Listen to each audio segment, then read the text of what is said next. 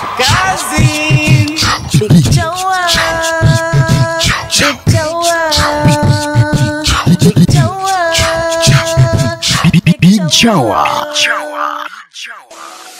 What a day kazi ni tuko na niki Mbishi ambaye ni jamaa moja ambaye ukutana naye lazima ajenge hoja sana very smart amepiga mpaka chuo alafu vile vile ni mtaalamu wa mahesabu na fizikia si ndivyo yeah man utu chako nasikia imeenda viral sana kuhusu kwamba kwa nini kila siku msomi nikiwa pili kwenye bongo flavor uh, ni kweli mm.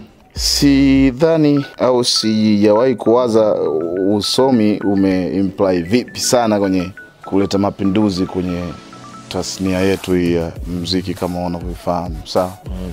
sidhani kwamba kwamba hata kama ni kusoma jamaa ndo kasoma yani kuliko elimu ya kutisha aba mwana yani amesoma science ya nuclear labda hapana nikasoma tu vitu vya kawaida vya kijamii na vi- social interaction ile sociology kujua tu yani jamii ni nini ni vitu kama hivyo. Very simple. Ambapo vitu kama hivyo sometimes havihitaji hata mtu kwenda shule. Kuna watu kama sisi tumezaliwa tuna karama hiyo ya kuaddress the press. Wa, wa afrika tunatakiwa tutoke kwenye dhana kwamba mtu akiongea kiingereza ni msomi.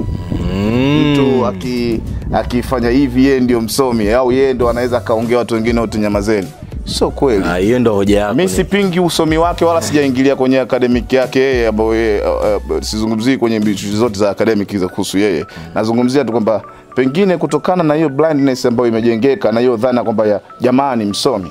Kwa hiyo tunajikuta kwamba mara nyingi tumekuwa tumewakilishwa kwenye mambo ya msingi na mtu yule yule ambaye anatukomisha kwa namna moja au nyingine. Kumbe tungepata mwakilishi mwingine wa kusimamia jambo labda wangetoa nikiwa pili wangeweka wakazi umeshaona? Ah, kwa at least ingeta image. Sasa huo ndo kwapeni ni udikteta katika mfumo wetu kwa sababu wale marais wanaokaa muda mrefu wanaitwaga madikteta na huyo mzazi ndo kila kitu atuwakilisha yeye afu akirudi feedback tunaziona zimekaa kisiasa. Kwa hiyo mimi sijawahi kuafikiana na hilo swala. Ndio maana nikatoa mfano mbona mbona FA ana masters yake kali tu afu kaiweka kwenye kabati kauchuna. Mbona msemagi msanii msomi msanii msomi msanii msomi msanii msomi? Kwa hiyo usomi umekuwa ni aka yani tu, tuijue hapo. Ni unatumika kweli kwenye mambo ya msingi ya kitaaluma ya kimantiki au ndo ina aka yake kwamba ni jamaa aliyesomaga kwa sababu hata kina stereo pia wame hivyo hivyo. Nikiwana ah, nikiwa kwa wakilishi unabidi ubadilike. Eh, hey, inabidi inabidi hatukatai kuwakilishwa kwenye mambo ya msingi yakija na matokeo chanya. Mm. lakini pale inapokuja matokeo yale yaeleweki ni chanya au hasi au neutral yamekaa kisiasa hapo tunashindwa kuamini sasa huo usomi uko wapi. Kwa hiyo inawezekana umeenda ku, ume, ume, umeenda kusoma hujaenda kuelimika na hata kama umeelimika hujakombolewa. Wale ya kukombolewa. Sasa niambie nikiwa unahisi mchongo gani ambao nikiwa pili alituwakilisha kama wasanii wa bongo flava afu akarudi ukakuona bado feedback hujaridhika nayo? Yapo michongo mengi sana. Uliza ama vikao ya tuma ah, hizi uh, hizi tume ndogo ndogo za mziki na siasa siasa mingi hapo kati yalitokea mengi ambayo siwezi kurudi huko nyuma sana tutaanza kufukua makaburi. Lakini kama ungekwepa ungekuwa shahidi kwamba mzazi ambaye anapewa nafasi ya kuwakilisha au kutoa mawazo kwa upana ha, haeti kile kitu ambao ule, wale watoto waliokuwa pale. Unajua mara nyingi mchizi hoja zake zimekuwa zikiangalia tu hawa wasanii wanafanya hii game yeye yupo yani. Usiwaze tu hii sijui game ya wasanii wasanii hawa tuiwaze kwa upana. Kuna watu wamefanya kazi kubwa.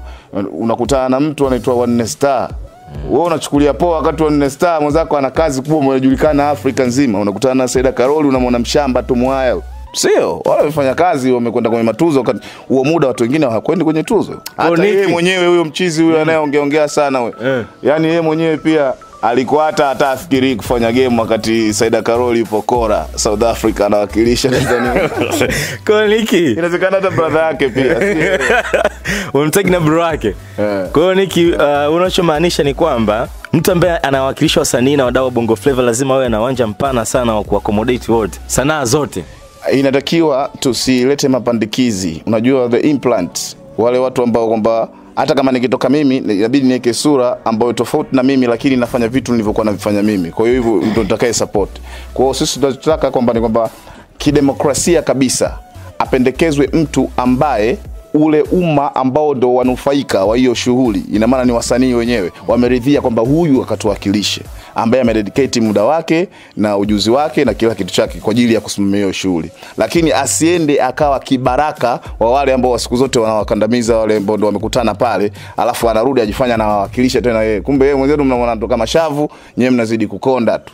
Alafu mnasema eti mwana ndo anashughulikia haki zetu. Hapo mnashughulikiwa nyie sio kwamba anawashughulikia haki zenu. Big shower ni kukundie. Jamani. Kazi usintagi